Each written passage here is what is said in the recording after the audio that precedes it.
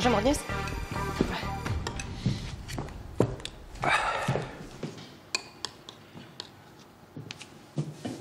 A čo? Čo budeš dnes robiť? Je, no tak asi pôjdem vyskúšať miestnu posílku. Super. Ty ale len kardio, nejaké ťažké váhy, jasné? A dokedy tam budeš? Mama mňa vyzdvihne o štvrtej. Nemusí. Ja končím v Dubnici o druhej. Po štvrtej to stíham, prídem po teba ja? By mohol, nie? A ty nemáš tréning? Nie.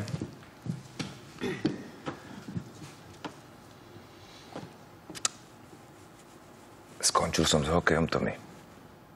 Čože? Mm. Veď si mal hrať za Duklu? No, ale už nechcem.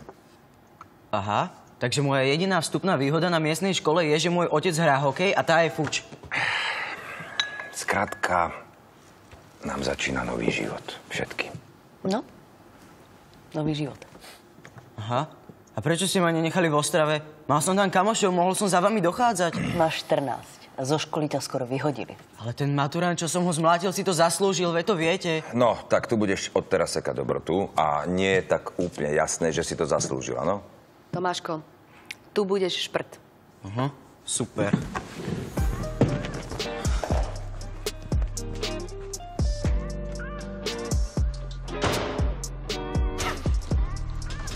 Czarnek spracuje.